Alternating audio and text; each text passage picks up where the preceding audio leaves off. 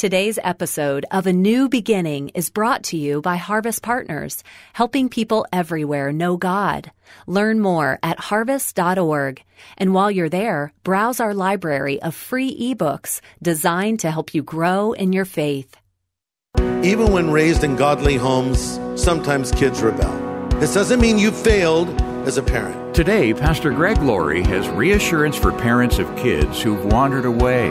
If you are a failure as a parent because your children have gone prodigal, then God the Father is a failure as a heavenly Father. Because does not God have a lot of prodigals? Listen to this your children can escape your presence, but they can never escape your prayers. Keep praying for them.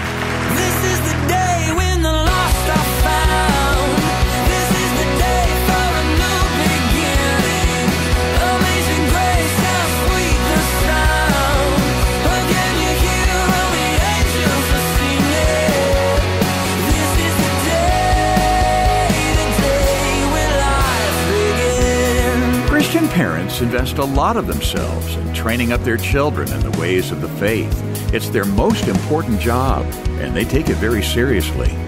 But when a child exercises his own free will and declares his independence, it can leave mom and dad heartsick. Well, today on A New Beginning, Pastor Greg Laurie offers reassurance from his family series, Am I Doing This Right?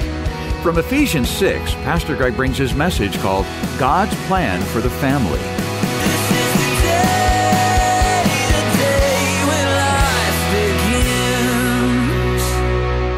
Here in Ephesians 6, verse 1, we read these words Children, obey your parents in the Lord, for this is right. Honor your father and mother, which is the first commandment with promise, that it may be well with you and you may live long on the earth. Honor your father and your mother. Now I know moms and dads are not always honorable people. So we need God's help to be moms, to be dads. And just as we need help with our marriages, we need God's help as parents. It's hard to be a parent today. This is why we read in the Gospels that the mothers brought their children to Jesus. And if you're a smart mom, you'll keep bringing your child to Jesus. Look at verse 4. You fathers, don't provoke your children to wrath. Bring them up in the training and admonition of the Lord. The word provoke means to anger them. In fact, the word provoke means a repeated pattern of treatment that causes a child to have anger and resentment that boils over to outright hostility. How would we provoke our children? One way we anger our children or provoke them is by showing favoritism to one child over another. Experts say the effects of parental favoritism left unchecked can be long lasting. A study was done that found siblings who, since their mom consistently favored or rejected one child over another, were far more likely to exhibit depression in middle age. The less favored kids also had ill will toward their parent or favored sibling. You see, this matters. Another way you provoke your children is by never complimenting them. You provoke them by never complimenting them or affirming them. I grew up in a home where there were no compliments. There was no affirmation. There was no attaboys. It just wasn't done. No hugs, no kisses, no I love you said by anyone to anyone. So one problem is never affirming our child. Another problem is over affirming our child. And the problem with this is it's produced a lot of narcissistic, self-centered kids. And I see it all the time. Now, what are we to do? We're to bring them up, it says, in the training and admonition of the Lord. Bring them up. This could also be translated nourish and feed. Another translation says, let them be kindly cherished. It says, bring them up. It does not say knock them down, nor does it say leave them to themselves. Because Proverbs 29 15 says, A child left to himself brings shame to his mother. It's your job, mom and dad, your job to train your children, to bring them up in the way of the Lord. And I'll tell you why to bring them up, because their sinful nature brings them down. I don't think I have to tell you that your child is a sinner, just like you're a sinner. David said, In sin did my mother conceive me. I never had to teach my boys how to sin. No, what we need to do is help our children come to Jesus and develop their own relationship with God. Listen to this. Nothing can really happen through us until it has first happened to us. And Paul writes in Philippians 4 9, the things that you've learned and received and heard and seen in me, practice these things. Listen, some things are caught and some things are taught. And what your children need to see is your faith in action. You know, when I first became a Christian, uh, I came from this crazy broken home. You all know that. And so, I mean, I was converted. My life was changed. And I would meet some kids that were kind of rebelling against God. And they would tell me how they came from homes of hypocrisy. And I would say, man, you have no idea what a bad home looks like. I came from the worst home ever. Why would you not walk with God? And later I began to realize what hypocrisy does. In some ways, it's almost better, almost, not really, but in some ways. It's almost better to come from a home of complete non-belief than to come from a home where mom and dad say they're Christians and they don't live it. And I'll tell you why. When you're raised in the kind of home I was raised in, which was godless, multiple fathers, alcoholism, all that stuff, you know that's not good. And I kind of saw the world up close and personal. I said, I don't want that. There has to be something better. So at least I knew this is not the example to follow. But when you come from a home where mom and dad say they're Christians and they contradict it and they're fighting and they're screaming and they're getting drunk or doing whatever they do or even breaking up, this is the worst thing you can do to your kids. Because now you've given them an excuse for their unbelief. So live a godly life. Best thing you can do for your kids, man, love your wife. Best thing you can do for your kids, mom, love your husband. Show them what love looks like. Show them what a good marriage looks like.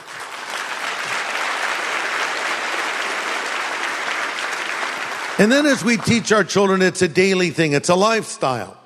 Uh, Moses gave some great insights into this in Deuteronomy 6 verses 4 to 7 he says these words i'm commanding you today will be in your heart. Teach them diligently to your sons and your daughters. Talk to them when you sit down in your house when you walk together when you lie down when you rise up. I love that.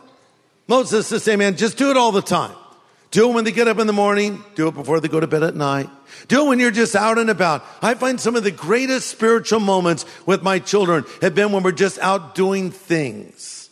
And you'll look for a teaching moment you know, sometimes Christian parents want to have their children live in a bubble. We're not going to allow any godless influences into our home. We won't even have a television set. We'll have nothing, no media, no internet, just nothing. They'll just sit in the house and I'll read Bible verses to them all day long. Yeah, that's not going to work real well. Because here's what's going to happen. Your sweet little children are going to see TV at a friend's house or walking down the aisle in a mall. Or, so look, prepare them to live in the real world.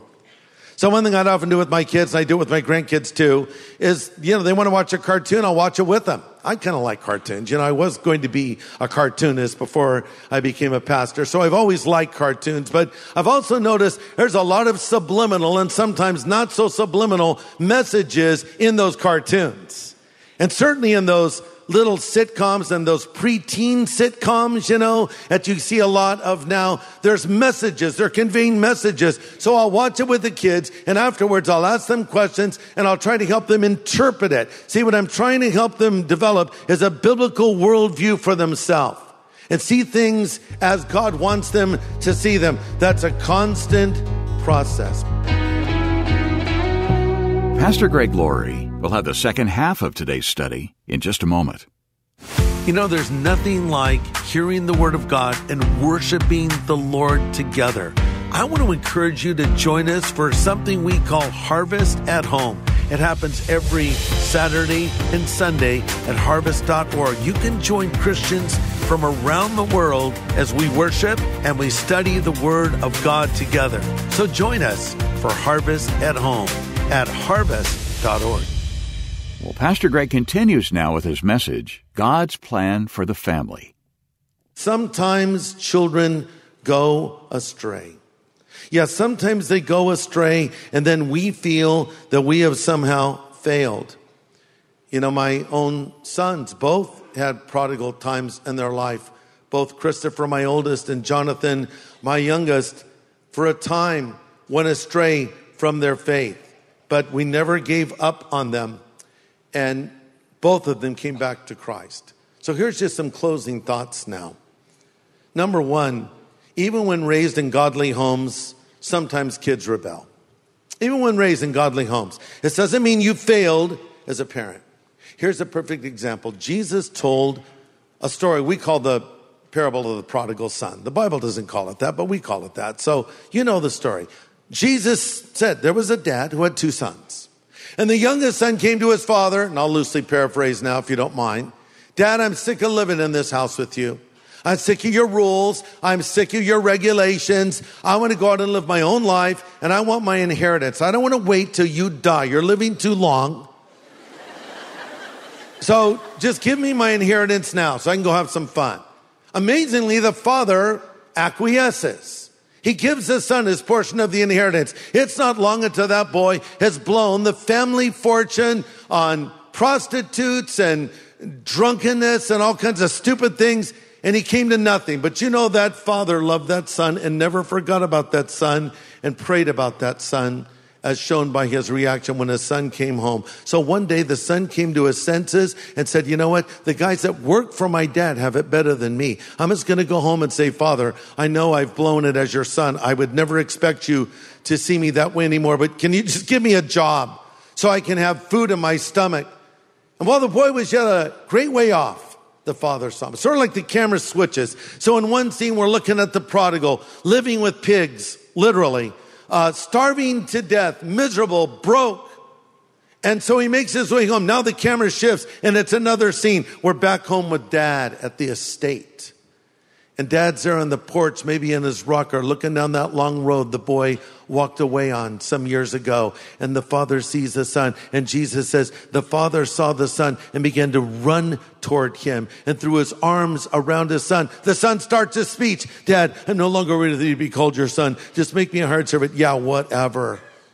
Get out the fatted calf. Let's have a barbecue. Put a ring in his finger. This, my son who was dead, is alive again. He was lost, is found.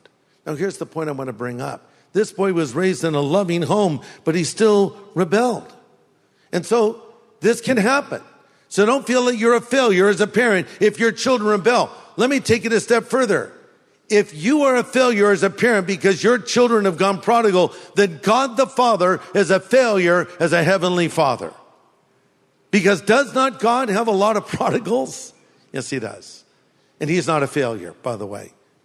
It's just that we have a free will and God lets us utilize it. So what did the father do? He welcomed his son. Here's point number two. If you have a child that goes prodigal, stay true to your beliefs. The father never compromised. The father stood his ground and you need to do the same. Hold your course, lovingly teach the word and continue on doing it. Listen, both my boys knew uh, that when they lived under my roof, they lived by my rules. I said, these are the rules and uh, you live by my rules. And you always show respect to your mom and me. If you have a disagreement, that's fine. We want to hear your disagreement, but don't disrespect us. And, uh, and here's what we believe, and this is what we do. Yes, we go to church on Sunday, and that means you come to church with us on Sunday too. And, and these are the standards we hold. And by the way, I reserve the right to go anywhere in my house I wanted to go, including my kids' rooms. Because sometimes People say, oh no, that, that's their private space. Don't invade their space. I'm invading any stinking space I want. Okay? What are you snooping? You better believe I'm snooping. Because if I find something that's destructive to the child, I'm going to bring it to their attention so they don't go the wrong way. That's part of my job as a parent. Like I said earlier, they don't need me to be their best friend. They need me to be their dad. And they need you to be their mom. Number three, we should never give up on our kids. Don't give up. Keep praying. Listen to this. Your children can escape your presence, but they can never escape your prayers. Keep praying for them. And point number four, always keep the door open. Always keep the door open. When my son Christopher was in his little prodigal phase, which went on quite a few years, he always knew I loved him. He always knew I cared. And I kept communication open. Even if he didn't communicate with me, I communicated with him. I said, let's get together for lunch. Let's do this. Let's do that. My son, Christopher, told Levi Lusko, his friend, you know, I kind of can measure my relationship with God uh, based on my relationship with my father. Speaking to me, he said, When I'm right with God, I'm right with my dad. When I'm not right with God, there's tension between my dad and myself. But then he also told Levi, The thing that brought me back to Christ was knowing that my father loved me unconditionally and that I could always go home. And he did.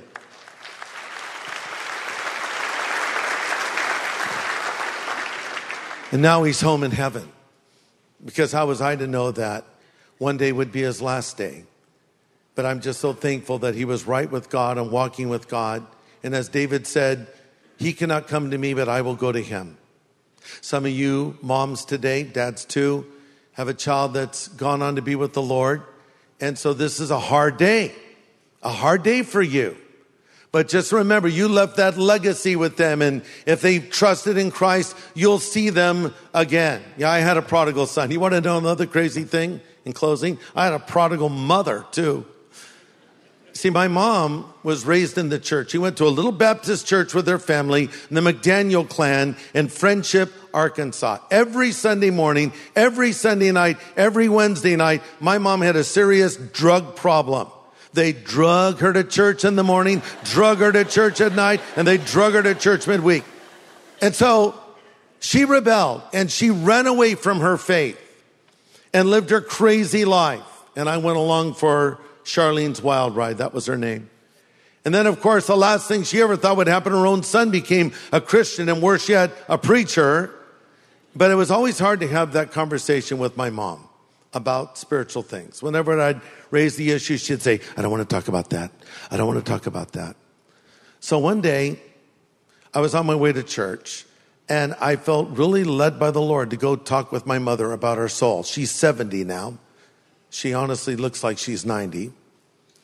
The effects of her lifestyle choices had caught up with her. All the drinking and smoking had ravaged her body, and she was on dialysis three times a week. And I felt very strongly I should talk to her. So I drove her to her over to her house. She was alone. I sat down. I said, "Mom, I want to talk to you about your soul." She said, "I don't want to talk about it." I said, "Today we're going to talk about it."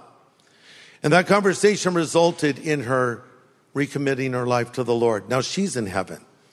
She's in heaven, and I know I'll see her again. Is it possible we have some prodigal mothers or prodigal sons or people that have never met Christ? That's the bottom line. I'm just talking to everybody. You're a mother, a father, a son, or a daughter. That pretty much covers it, doesn't it? And leave anybody out. You're one of those things, whoever you are, you need Jesus. Because you're separated from God by your sin, but 2,000 years ago, Jesus Christ died on the cross for you and rose again from the dead. And now he's here with us in this place, knocking at the door of your life and saying, if you'll hear his voice and open the door, he'll come in. Maybe moms, you came to church today with your kids because that's what they wanted you to do. Dads, maybe you came along. You don't usually come to church, but here you are hoping I end this sermon soon and I will. Maybe you're just a kid and you come with your mom and dad to church and you're kind of young and you don't understand all the things I'm saying, but maybe you'll understand this. God loves you. God wants to forgive you of your sin and he wants to live inside of your heart and He has a plan for your life.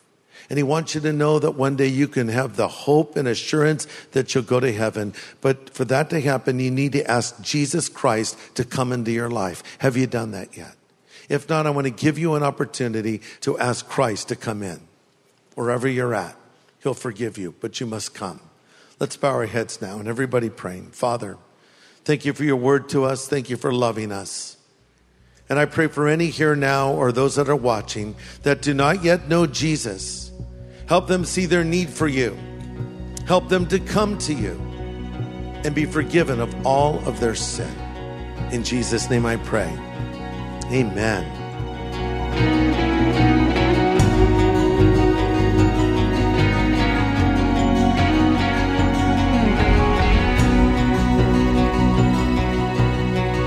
Pastor Greg Laurie with an important prayer about coming to the Lord to find forgiveness of sins. And if you'd like to do that, Pastor Greg will help you in just a moment, so uh, please stay tuned. Well, it's so great to have Pastor Levi Lusko with us today, senior pastor of Fresh Life Church with campuses in Montana, Wyoming, Oregon, and Utah. Uh, he and his wife Jennie have authored the new book called The Marriage Devotional. Great resource. Now, Levi, you talk about the violin in this marriage devotional. Listeners may think they don't need to spend time talking about the violin, but they'll want to talk about the violin won't they? Yes, I think they will. You know, we use violin as sort of shorthand for sex, uh, which is really an interesting, probably uh, illustration for most people. But if you think about it, you don't just pick up the violin and play a song by Beethoven the first at first blush. It takes practice. It takes years, and it becomes more valuable with time. I, mean, I think you, uh, Stradivarius violin is in the millions now, but it's a it's a rare piece of beauty. Not everyone can get their hands on one, and sex, as God intended it to be is sort of this this this secret treasure, this walled garden is language from the Bible yeah. about sex that we don't let anybody else in except for our spouse. It's not common, it's not trafficked, it's treasured like a violin, and uh, you can get better at it over time as you practice. You know, we want to take away culture culture puts this baggage on sex that you have it on the first date and that's as good as it's ever going to be. That's why most romantic comedies end uh, the day they get married, if they do indeed get married at all. Mm-hmm. But really, God, that's just the beginning for what God wants as you grow in it. And studies show the most happy demographic in our country when it comes to sexual satisfaction are married couples mm-hmm. who have stayed married for decades, been committed exclusively to each other. And so it's not experience that makes you better at sex, it's exclusivity. Mm Mm. that will make you better at it over time if you do things God's way.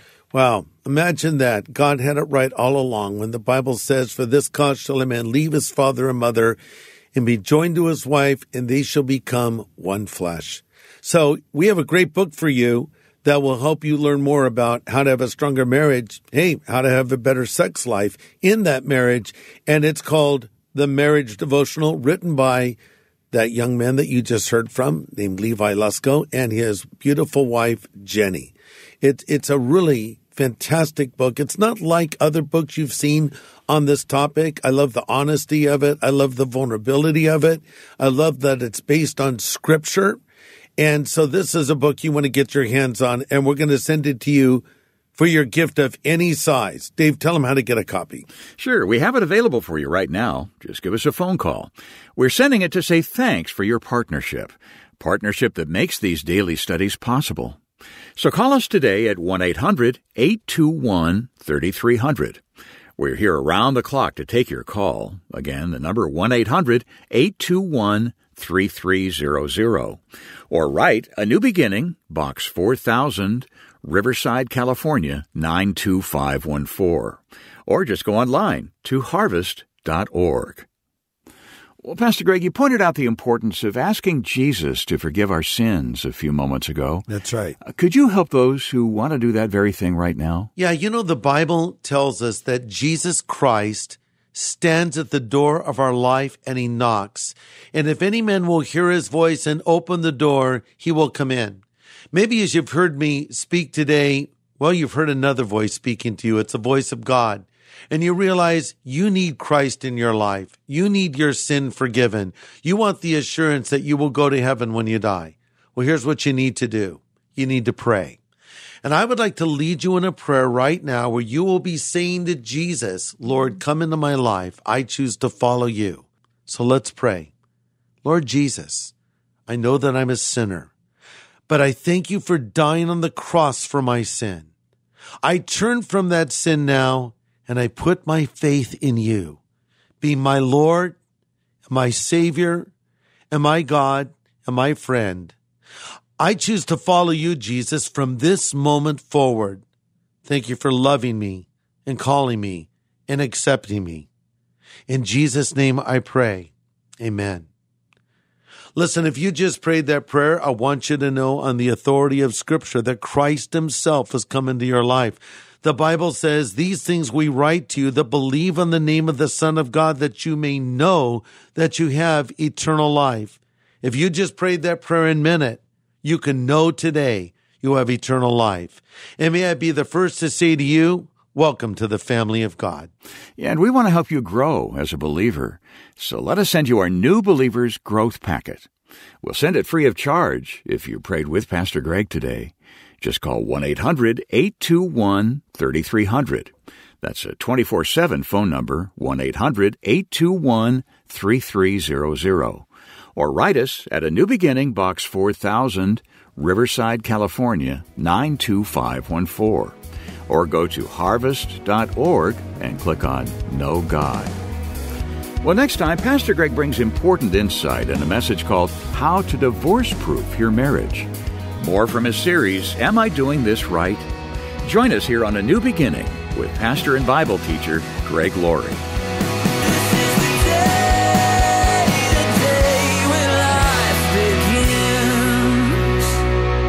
Thanks for listening to A New Beginning with Greg Laurie, a podcast made possible by Harvest Partners, helping people everywhere know God. Sign up for daily devotions and learn how to become a Harvest Partner at harvest.org.